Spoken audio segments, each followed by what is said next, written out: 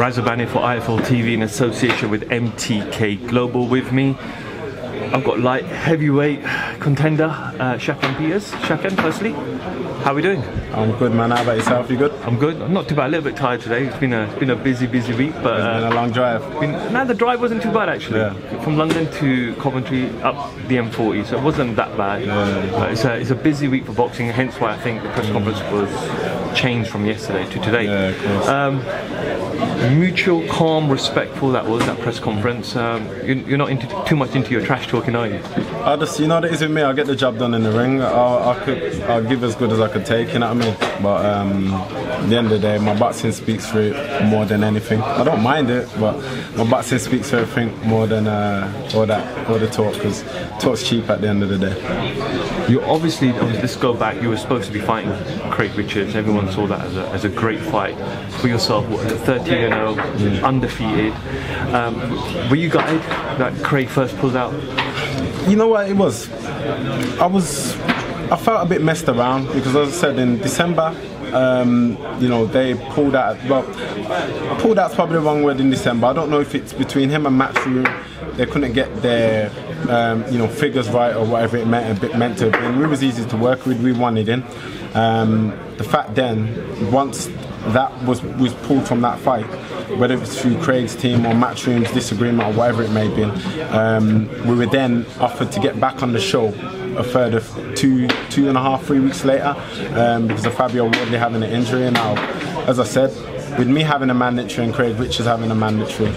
I just want us to both be on an even playing field. I don't want no excuses. You know, when I win, I just don't want no excuses, and that's what we was facing up against in March 28th. Here now, Hennessy put on a great, um, great show. Um, you know, uh, which is, is going to be a great show, um, live on terrestrial TV, Channel Five, and we both was on even playing field. You know, we signed our agreement, he signed his, and um, five weeks before, he's pulled out with a cold slash viral infection. I don't know what it is, but that's like it, it's kind of messed us about a bit, you know what I mean? Because I could have been actively fighting already, but it's all right. I've been still training over, like I said now anyway, so we're all good. But I mean, got it for the fans, not got it for myself because the path for me was to always have the British anyway. Um, so this is what I'm fighting for now. So I've not lost anything in it, to be honest. But for the fans. Um, I'm gutted for them because the fans really want to see that fight. But as I said in my previous in- interviews on IFL, like you know, from my side you'll see it. From theirs, I can't answer for Craig, but from our side, we'd have loved that fight. But it's what it is.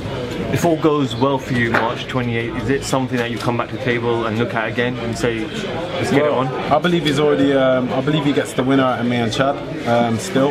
Um, so I think it's a case of it's still going to happen anyway.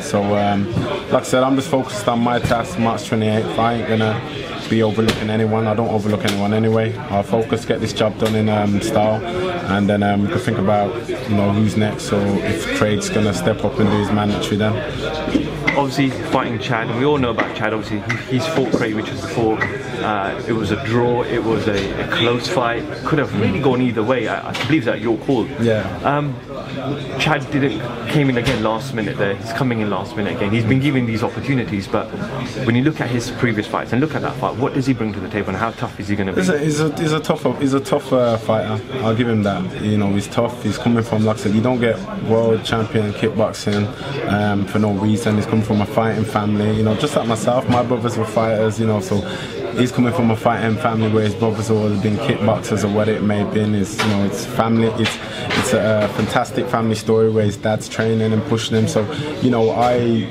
I respect that. You know what I mean? I respect that where he's coming from.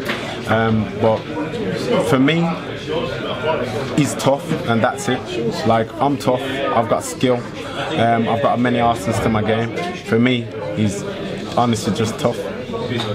And that's about it. British titles obviously on the line. It's, it's your first major one. Um, you're 30 now, Yeah. so not on the younger side of, of your career.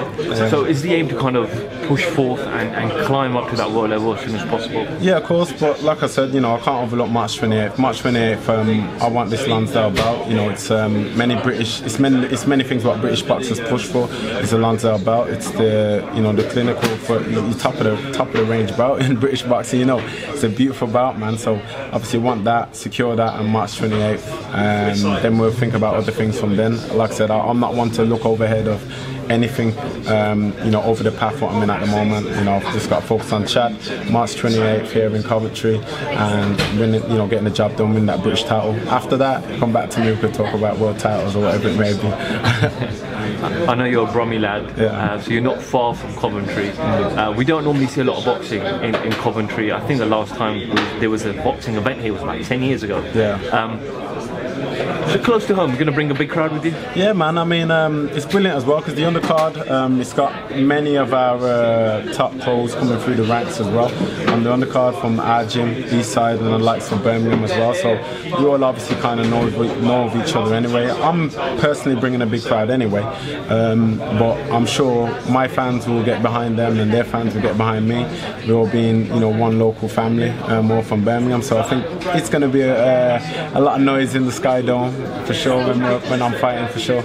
You're just finally, March 28th. Uh, what can we expect to see from you? And what happens? You're gonna see a win from me, um, a brilliant boxing display, whatever it may be. As I say, you know, if this, if he, um, if he's tough enough to survive the rounds, then we'll see. But you know, I'm not one to call rounds, so I'll get him out of there, I'll get him out of there.